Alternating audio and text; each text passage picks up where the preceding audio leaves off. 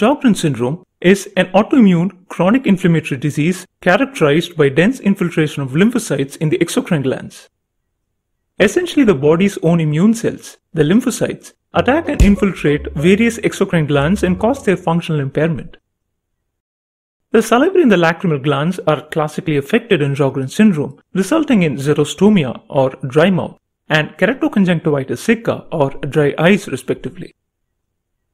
Exocrine glands in the gastrointestinal system, respiratory system, skin and vagina may also be affected.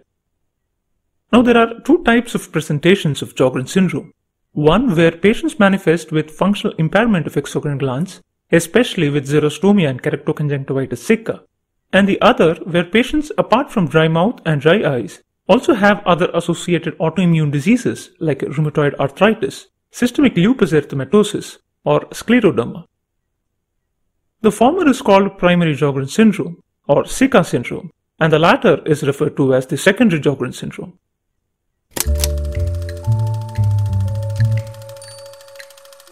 Though the exact cause or etiology of the disease is not known, it is established that Sjogren syndrome is an autoimmune disease where the body's immune cells fail to distinguish between foreign and self molecules or antigens. They recognize the body's own cells as foreign and destroy them. There are primarily two factors, genetic and environmental, which may drive this process. Patients with Sjogren syndrome are usually known to be genetically susceptible to the disease. It has been reported that many patients with Sjogren syndrome have a family history of the same and other autoimmune diseases as well. Now these patients have expression of certain MHC genes which make them susceptible to the disease. These are genes which code for molecules called human leukocyte antigens and some of them implicated in the disease are HLA-DR52, HLA-DR3, HLA-B8 and HLA-DQ2. Environmental factors like viral infections are known to trigger events in the susceptible individual, which may instigate the autoimmune attack. Viruses may cause cell damage and apoptosis of glandular tissue, exposing antigens which are recognized by self reactive lymphocytes or T cells. Now, another theory hypothesized is that viruses may induce the disease by what is called as molecular mimicry. These viruses may have similar structure and amino acid sequences of self antigens, causing lymphocytes to cross react and attack the self antigens.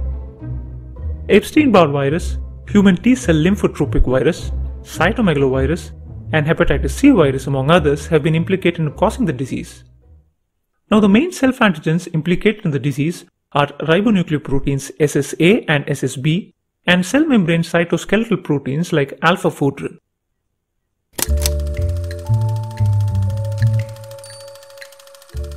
So after a viral attack, antigen presenting cells like dendritic cells in the gland recognize and pick up self-antigens.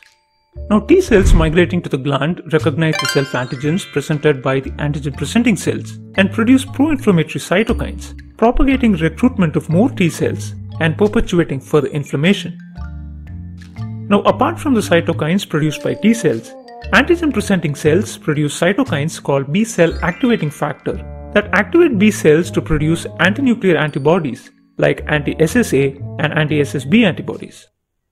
Anti-SSA antibodies are found in approximately 50 to 76% of patients, and anti-SSB antibodies have been found in 30 to 60% of the patients.